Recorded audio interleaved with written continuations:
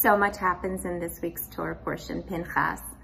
But perhaps the most significant is Moses' successor is chosen. According to Midrash Tanchuma, Moses hopes that God will appoint his son as his successor, arguing that it's only logical for the position to be inherited within his family. And don't we all want this, the best for our children?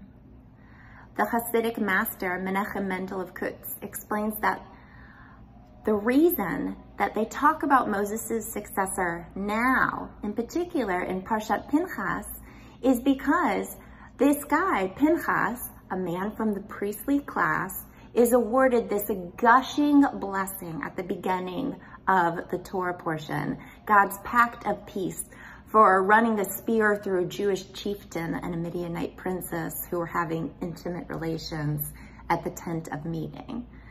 So Moses wants his son to be his successor, knows that Pinchas is being praised by God.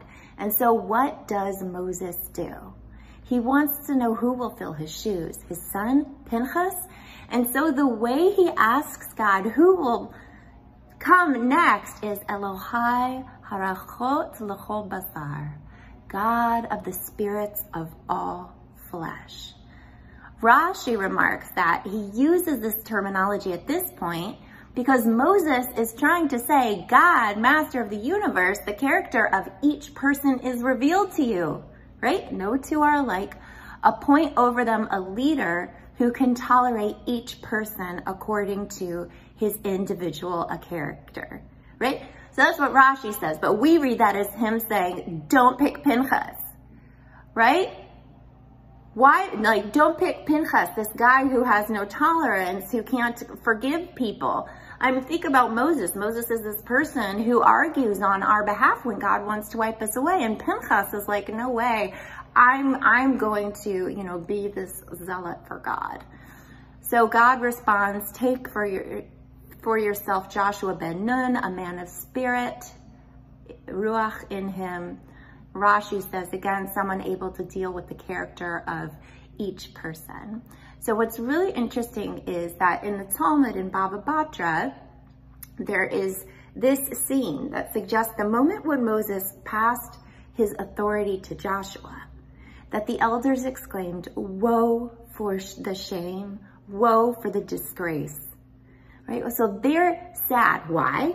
Rabbi Yitzhak of Volozhin, of Volozhin claims that the elders were not expressing disappointment in Joshua, they don't think Joshua's a bad pick.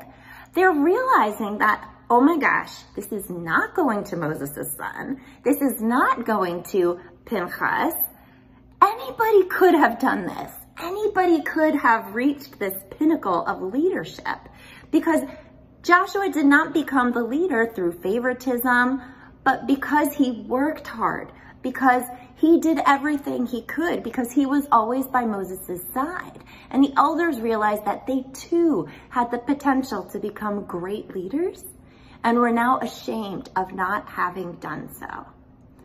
So in Pinchas, with the selection of Joshua, we realize that yes, there are people born, you know, where they might inherit wealth or a great position, but really those who lead in God's world are those who work hard, who are dedicated, who show up every day, and who love God's people.